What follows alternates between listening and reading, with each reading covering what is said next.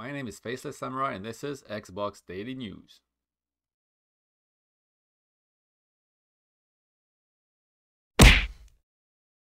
Today in Xbox News, Senua's Saga Hellblade 2 only peaked at 4,000 players. Actually, going by the Steam tracker, SteamDB, we can tell that the game has sold between 25,000 and 60,000 copies on Steam only, at peaking at around 3,900 players 5 days ago.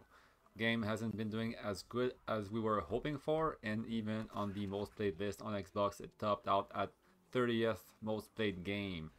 Uh, this is a very short game, so you never know. Maybe people are going in and out and completing the game in one sitting, which could actually explain the reason why the numbers are so low. Dragon Quest III HD Remaster has now been confirmed for Xbox Series S and X. Now, following uh, Square Enix's strategy of going more and more multi-platform in the future, we have now gotten confirmation that the previously announced game isn't coming only to Nintendo Switch and PlayStation, but also coming to Xbox, as well as PC and even the Windows Store, which is a good win for Microsoft as there is definitely a need for more JRPGs on the Xbox system.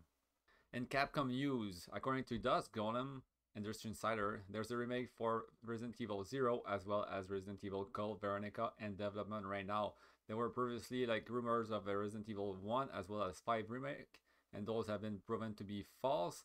As for Resident Evil 9, it apparently has been pushed back to late 2025 or 2026 and won't be revealed this summer at all. And finally, to end on a good note, thanks to Digital Foundry, we now know that both uh, Xbox Series S and X support AMD FSR 3 first generation really well, with the game uh, Immortals of Aveum having finally been patched and tested by Digital Foundry uh, late last week.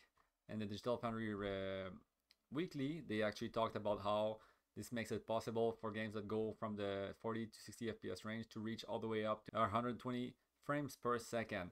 This is a high frame rate uh, territory. Obviously, it's very comforting for people that have 120 Hz displays.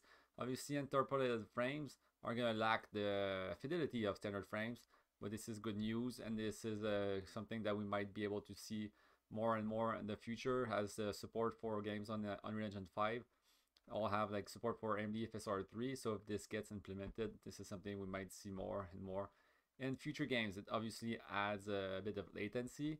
So for a lower um, so for a slower paced game this could be a good thing. And that's all the news for today. Catch you guys tomorrow. Cheers